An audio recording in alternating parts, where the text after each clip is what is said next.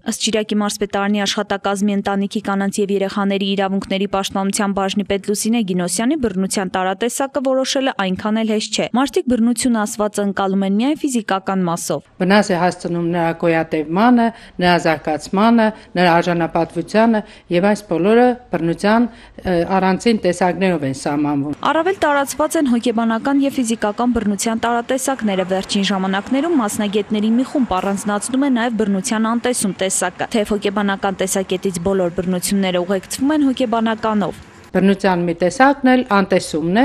որը նույնպես թեև առաջին հայացքից թվում է թե բռնության ավելի թեթև ձև է, բայց անտեսումն էլ ծանր ձև է, որովհետև եթե անտեսման է ենթարկվում երեխան կամ անձը, ապա այդ դեպքում շատ երկար ժամանակ է պետք, որպեսզի նրա վիճակը բարելավի։ Ցանկացած բռնության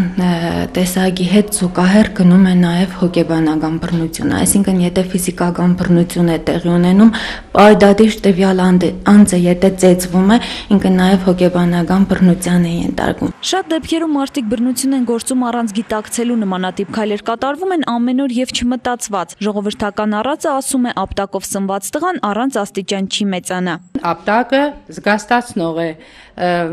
մարդուն ստապեցնող է, բայց դա այն դեպքում բռնություն չէ, եթե մի անգամ է, բայց եթե ապտակը շարունակվում է մի քանի անգամ, դա արդեն բնականաբար ծեծ է, ոչ թե ապտակ։ Ցանկացած տիպի բռնություն արկելված է, այսինքն ծեծը նույնպես քրորեն պատժելի արարք է։ Եթե նորածին է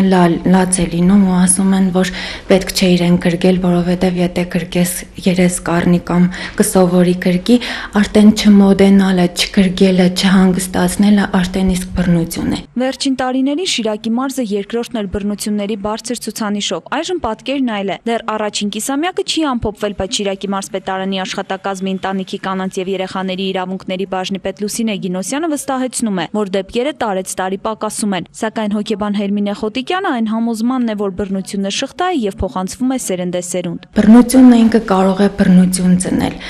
Փորձը ցույց է տալիս, որ այն երեխաները, որոնք մեծացել են բռնության մթնոլորտում, իրենք հետագայում դառնում են բռնություն կիրառող ծնողներ։ Այսինքն շատ կարևոր է, որ այդ բռնության շղթան ինչ որ միտեղ մենք ընդդատենք։ Առաջի քայլը, որ նրանք պետք է անեն այդ հոգեբանորեն պատրաստված լինեն դրան եւ գնան դիմեն ոստիկանություն իրավապահ մարմիններին, որովհետեւ ցանկացած բռնություն դա քրորեն պատժելի է եթե անձի նկատմամբ բռնություն է կատարվել, սեական բռնություն լինի, դա աշխատանքային բռնություն լինի, թե հոգեբանական նաև որոշակի ձևով բռնություն շանտաժների միջոցով անձի նկատմամբ լինի յուրաքանչյուրը ենթակա է եւ ֆիզիկական բռնությունը նույնպես ենթակա է քրորեն պատժելի արարքներին Այս կերպ վարվել պահանջում է օրենքը եւ հորդորում փաստաբան Թամարա Յայլոյանը, իսկ նմանատիպ իրավիճակներից դուրս գալու եւ հետագայում բռնությունը մեղմելու այլ տարբերակներ են առաջարկում, ինչպես Շիրակի մարզպետարանի պատասխանատուն, այնպես էլ հոգեբանը։ Ընտանիքում պետք է իշխեն հայրական սերն ու մայրական գորովը, ոչ ոստիկան, ոչ սուր, ոչ բռնություն, ոչ գավազան հոր եւ մոր կենտանի օրինակը պետք է լինի երեխաների դաստիարակը եւ այս դեպքում բռնությունը կարող է, եթե ոչ բացառվել, ապա գոնե նվազել։ Փորձել դեռահասների ծնողների հետ առանձին աշխատել, կամ խմբային աշխատանքներ նախատեսված ծնողների հետ, որտեղ մեծ շեշտադրություն է ստանում սեռական դաստիարակության հարցը ու ծնողի գործոնը, թե ինչքան մեծ է